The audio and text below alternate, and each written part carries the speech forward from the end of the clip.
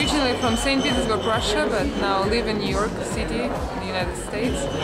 Um, it was a pleasure to meet Vasanth and Gita here in Tromsø, Norway, and uh, we were happy to have both of them here. And uh, yesterday at the Polar Test um, uh, party, we were pleased to have And it was something. It was magical.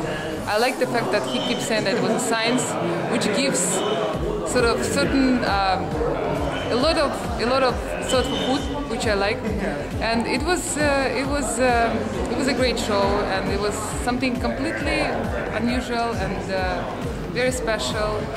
I see a lot of work behind it. I see a lot of effort. I see the happy couple, uh, happy people doing what they love to do, and uh, it's been very special, and uh, it made many people very happy.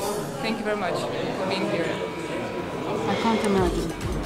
It's very, very good and very unbelievable show.